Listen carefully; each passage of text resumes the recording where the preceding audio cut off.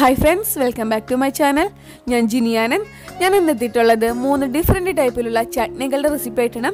ദോശ ഇഡ്ഡലി ഊത്തപ്പം വട അതിനെ കൂടെ കഴിക്കാൻ പറ്റിയ ബെസ്റ്റ് കോമ്പിനേഷൻ ആയിട്ടുള്ള മൂന്ന് ചട്നികളുടെ റെസിപ്പിയാണ് ഞാൻ തയ്യാറാക്കാൻ പോകുന്നത്. അപ്പം നമുക്ക് വീഡിയോയിലോട്ട് പോകാം.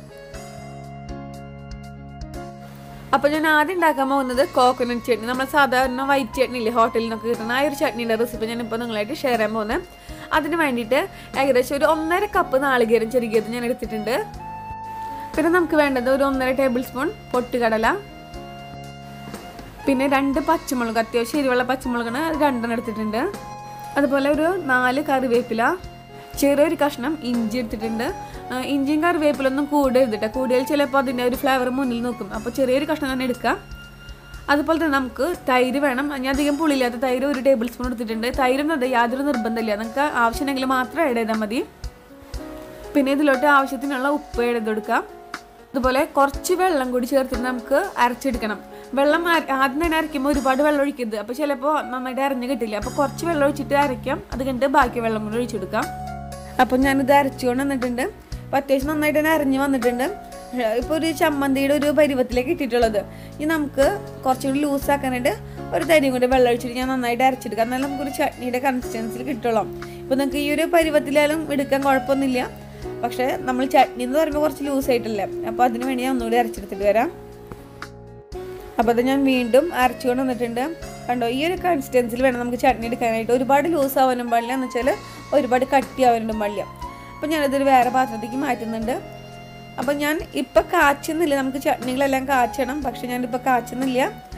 അത് നമ്മൾ ലാസ്റ്റ് എല്ലാം കൂടി ഒരുമിച്ച് കാച്ചണം. ഇനി നമുക്ക് അടുത്ത ചട്നി ആക്കാം ഇതിപ്പോൾ ഒരു വൈറ്റ് ചട്നി കണ്ടില്ലേ? ഇത് നമ്മൾ റെഡി ആക്കിയിട്ടുണ്ട്. അപ്പോൾ നമുക്ക് ഇനി അടുത്ത ചട്നി ഉണ്ടാക്കാൻ നോക്കാം. അപ്പോൾ അടുത്തതായിട്ട് ഞാൻ ഉണ്ടാക്കാൻ പോകുന്നത് ഒരു സ്പെഷ്യൽ ചട്നിയാണ്. ഓണിയൻ ചട്നി നമ്മളുടെ റെസ്റ്റോറന്റിലൊക്കെ കിട്ടാറില്ല. ഒരു റെഡ് കളർ ചട്നി. പക്ഷെ അത് പലതരത്തിൽ ഉണ്ടാക്കുക. ചിലപ്പോൾ തക്കാളി കിട്ടുന്ന ഉണ്ടാക്കുന്ന ആൾക്കാരൊക്കെ ഉണ്ട്. പക്ഷെ ഞാൻ എപ്പോഴും ഉണ്ടാക്കുന്ന രീതിയിൽ നിങ്ങളായിട്ട് ഷെയർ ചെയ്യുന്നത് അതിന് വേണ്ടി അത്യാവശ്യം വലിപ്പമുള്ളൊരു സവാള ഞാൻ കട്ട് ചെയ്തിട്ട് ഒരു ഗ്രൈനറിൽ ഇട്ട് കൊടുത്തിട്ടുണ്ട്. അത് വലിയൊരു സവള എടുക്കാം. പിന്നെ രണ്ട് പിരിയമുളക്. പിരിയമുളക് എന്ന് നല്ല കളറുള്ള മുളകില്ലേ അത്. ഇത് തന്നെയാണ് കടയുടെ സ്പെഷ്യൽ അപ്പോൾ ഇതുണ്ടെങ്കിൽ ഇത് തന്നെ എടുക്കാനായിട്ട് ശ്രദ്ധിക്കാം. അതുപോലെ നമുക്ക് വേണ്ടത് കോൽപ്പുളിയില്ലേ? കോൽപ്പുളി നമ്മൾ സാമ്പാറിലൊക്കെ ഇടുന്ന പുളി. അത് ഒരു ചെറിയൊരു കഷ്ണം തന്നെ. ഇത് ഇത് മതി കൂടരുത് ഇത് കൂടിയാൽ ചിലപ്പോൾ ഈ ഒരു ചട്നിക്ക് ഇതിന്റെ ഫ്ലേവർ മുന്നിൽ നിൽക്കും. അപ്പോൾ കുറച്ചെണ്ണം ഇടാൻ ശ്രദ്ധിക്കാം. പിന്നെ നമുക്ക് വേണ്ടത് നാളികേരം ചെരുകിയതിന് ഏകദേശം ഒന്നര ടേബിൾ സ്പൂൺ അല്ലെങ്കിൽ രണ്ട് ടേബിൾ സ്പൂൺ നാളികേരം ചെരുകിയത്. അല്ലെങ്കിൽ നാളെ ഒരു കൊത്തായാലും കുഴപ്പമൊന്നുമില്ല. അതും കൂടി ഇട്ട് കൊടുക്കാം. പിന്നെ നമുക്ക് ഇതിലിട്ട് വേണ്ടത് ഒരു സ്പെഷ്യൽ ആയിട്ടുള്ള ഇൻഗ്രീഡിയന്റ് ആണ് ശർക്കര. ഇത് നല്ലൊരു ടേസ്റ്റ് കിട്ടും നമ്മുടെ ഈ ഒരു ചട്നിക്ക്. ശർക്കര ഏകദേശം ഒരു മുപ്പത് ഗ്രാം ശർക്കരയ്ക്ക് മതി. ചെറിയൊരു കഷ്ണം ശർക്കര. അത് നമ്മളുടെ മധുരം അനുസരിച്ച് കൂട്ടുക കുറയ്ക്കുകയൊക്കെ ചെയ്യാം. ഞാനിപ്പോൾ ഒരു മുപ്പത് മുപ്പത്തഞ്ച് ഗ്രാം എടുത്തിട്ടുണ്ട്. അത് ജസ്റ്റ് ഒന്ന് ഗ്രേറ്റ് ചെയ്തിട്ട് കൊടുക്കാം പിന്നെ ഇതിലോട്ട് ആവശ്യത്തിനുള്ള ഉപ്പും കൂടി ചേർത്ത് കൊടുക്കാം അതുപോലെ തന്നെ ഇതിലോട്ട് കുറച്ച് വെള്ളം കൂടി ചേർത്തിട്ട് നമുക്ക് നല്ല ഫൈനായിട്ട് തന്നെ അരച്ചെടുക്കാം. അപ്പോൾ ഇത് നമ്മുടെ അടുത്ത ചട്നിയും റെഡി ആയിട്ടുണ്ട്. ഓണിയൻ ചട്നി. നല്ല കളറായി വന്നിട്ടുണ്ട്. ഇത് നമുക്ക് ഈ ഒരു കട്ടിൽ തന്നെ എടുക്കാം. അധികം ലൂസ് ഒന്നാക്കണ്ട വേറൊരു പാത്രത്തിലോട്ട് ഞാനിത് ഒഴിച്ചെടുക്കുന്നുണ്ട്. ഇത് മതി നമുക്ക് ലാസ്റ്റ് കാച്ചിട്ട് എടുക്കാം. അടുത്തതായിട്ട് ഞാൻ ഉണ്ടാക്കാൻ പോകുന്നത് ഗ്രീൻ ചട്നി അതായത് നമ്മുടെ പുതിന മല്ലിയിലൊക്കെ ഇട്ടുള്ള ഒരു ചട്നി അത്. അതിന് വേണ്ടി ഒരു പാത്രത്തിലോട്ട് നമുക്ക് കുറച്ച് കോക്കനട്ട് ഓയിൽ ഒഴിച്ചെടുക്കാം. ഇപ്പോൾ ഓയിൽ നന്നായിട്ട് ചൂടായി വന്നിട്ടുണ്ട്. ഇതിലൂടെ നമുക്ക് ഒരു ടീസ്പൂൺ ഉഴുന്ന് പരിപ്പിൽ ഉരുതാൽ അതിട്ട് കൊടുക്കാം. ഒരു ടീസ്പൂൺ തന്നെ മതി അധികം കൂടൊന്നും വേണ്ട. ഒപ്പം തന്നെ ഇതിലോട്ട് രണ്ട് എരിവുള്ള പച്ചമുളക് എടുത്തിട്ടുണ്ട്. അത് ജസ്റ്റ് ഒന്ന് പൊട്ടിച്ചിട്ട് ഇട്ടെടുക്കാം പിന്നെ ഇതിലോട്ടുള്ള മെയിൻ ഇൻഗ്രീഡിയന്റ് മല്ലിയില. മല്ലിയില ഏകദേശം ഒരു വാൽ നിറച്ചെടുത്തിട്ടുണ്ട്. അത് നല്ല കളറുള്ള മല്ലിലൊക്കെ ആണെങ്കിൽ കുറച്ചും കൂടി നല്ല കളർ ഇട്ട് നമ്മൾ ചെണ്ണിക്കും. അപ്പോൾ അത് ജസ്റ്റ് ഒന്ന് കട്ട് ചെയ്തിട്ടിട്ട് കൊടുക്കാം.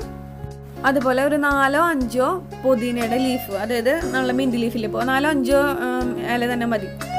പിന്നെ ഇതൊന്ന് ജസ്റ്റ് ഒന്ന് ഇളക്കി കൊടുക്കാൻ അടിയിൽ ആ ഉഴുന്ന് പരിപ്പ് ചിലപ്പോൾ കരിയും ജസ്റ്റ് ഒന്ന് ഇളക്കി കൊടുത്തതിന് ശേഷം നമുക്ക് ചെറിയൊരു കഷ്ണം ഇഞ്ചി കൂടി നമുക്ക് കട്ട് ചെയ്തിട്ട് ഇട്ടെടുക്കാം ഇനി നമുക്ക് ഗ്രീൻ ചട്നി ഉണ്ടാക്കാം. അതിന് വേണ്ടിയിട്ട് ഒരു ഗ്രൈൻഡറിലോട്ട് ഒരു കപ്പ് നാളികേരം ചെറുക്കിയതിട്ട് കൊടുക്കാം. ഒപ്പം തന്നെ നമ്മൾ നേരത്തെ വഴറ്റി വെച്ചിട്ടുള്ള ആ ഒരു മിക്സിൽ ലീഫുകളുടെ മിക്സ് അത് ആഡ് ചെയ്ത് കൊടുക്കാം.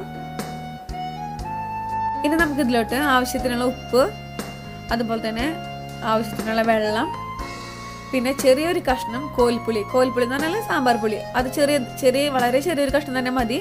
അധികം കൂടൊന്നും വേണ്ട. അതും കൂടി ചേർത്തിട്ട് നമുക്ക് നല്ല ഫൈനായിട്ട് തന്നെ അരച്ചെടുക്കാം. അപ്പോൾ ഇതാ നമ്മുടെ മൂന്നാമത്തെ ചട്നിയും റെഡി ആയിട്ടുണ്ട് ഗ്രീൻ ചട്നി ഇതിപ്പോൾ ഓവറായിട്ടുള്ള കളറൊന്നും കിട്ടില്ല. നമ്മളുടെ ഇപ്പോൾ മല്ലിയും പൊതിനൊക്കെ എടുക്കുന്ന ക്വാണ്ടിറ്റി അനുസരിച്ചിട്ടൊക്കെ ചെരിഞ്ചൊക്കെ വരാം. അപ്പോൾ എന്റെ ലൈറ്റ് ഗ്രീൻ ആയിട്ട് എനിക്ക് കിട്ടിയിട്ടുള്ളത്. നമുക്കിത് വേറൊരു പാത്രത്തിലോട്ട് മാറ്റി കൊടുക്കാം. അപ്പോൾ ഇതാ നമ്മുടെ മൂന്ന് കളർ ചട്നി ഇവിടെ റെഡി ആയിട്ടുണ്ട്. White chutney red colour chutney green colour chutney.